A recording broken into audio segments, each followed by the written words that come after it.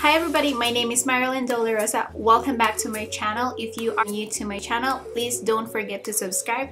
Today is gonna be a get ready with me video using some new products that I recently purchased from local drugstore. And this is the look that I did. And if you wanna see how I did this look using some product from local drugstore, please keep watching. So let's start with foundation, which is the infallible total cover. This is how it looks like. Ooh. It's a little harder. I hope it's my shade. It's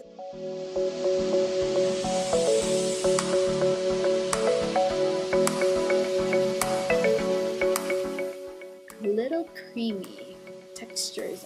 Shade is obviously my shade, but let's make it work. It says high coverage, but hmm, let's add a little bit more. Let's see. I really have a really dry skin, so I don't know if you guys can see that, but yeah, it's very dry. Okay, now our foundation is done. Let's move on to the concealer. So I got the Maybelline Fit Me Concealer. I heard amazing things about it and um, a lot of YouTubers that I watch really recommend this. So let's give it a try.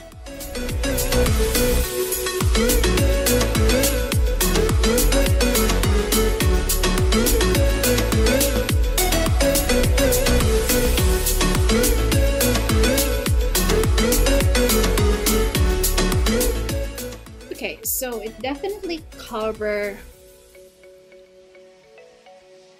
some of my pimples. Okay, so let's move on. So I got this um, Gosh mineral powder from drugstore as well. Okay, so let's see.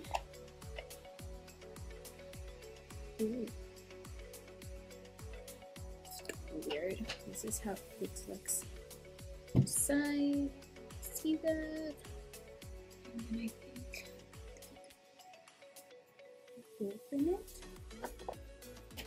Oh, see it this way.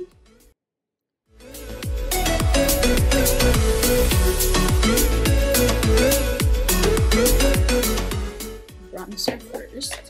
Put some color on your face.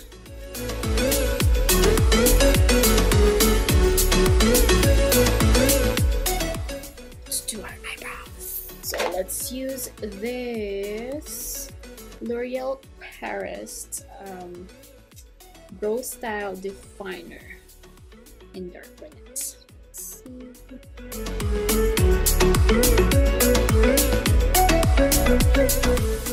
For my lashes, I don't know if you can guys see that, I use the Maybelline New York Lash Sensation Lash Sensational Lashes Full Fan Effects. I just put my blush on. For my lips, I'm gonna use the infal the infallible paints from L'Oreal in the shade of 322 and it's the orange envy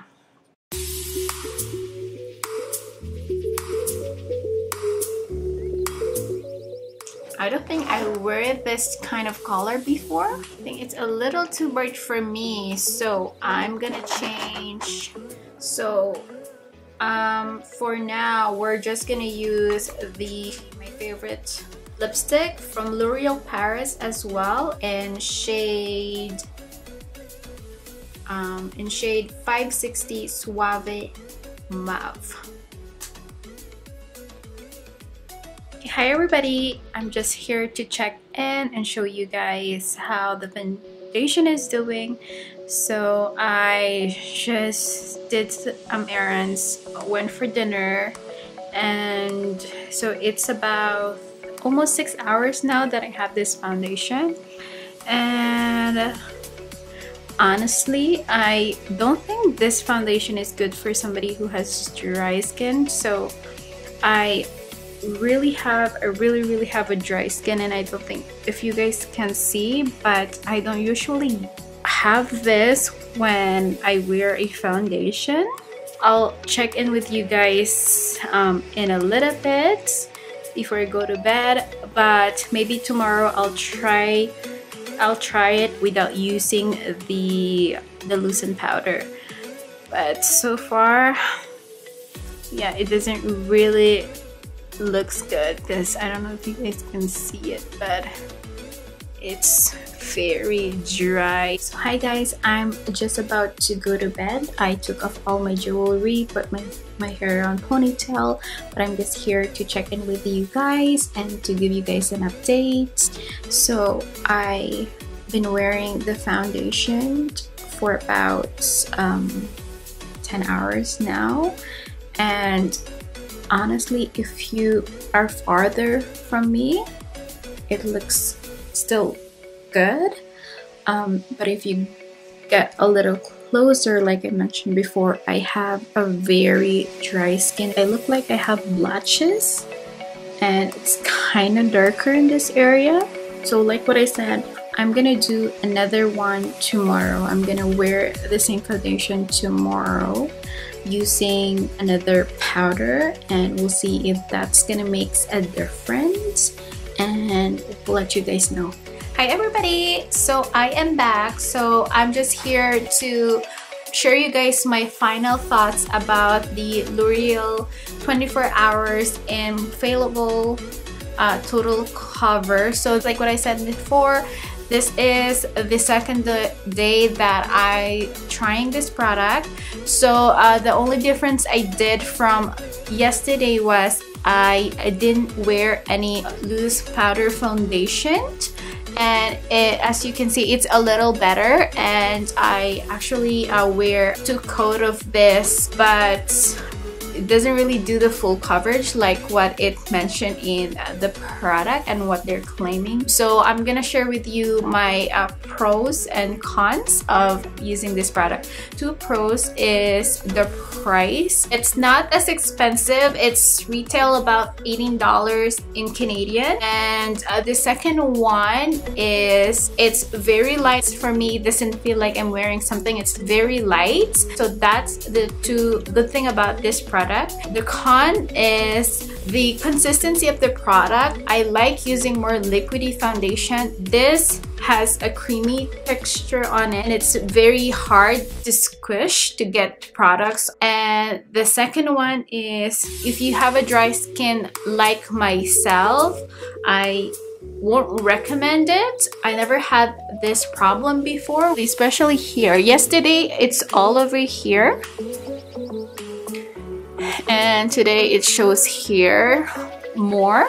If you have a, a, dry skin I won't recommend it. Maybe if you're only like using it for daily basis also don't expect to have a full coverage. So if you're just doing errands it's okay. But yeah if you're going for a party or something like that where you need a full coverage on this is not a good product for you yeah so that is my thoughts about this product.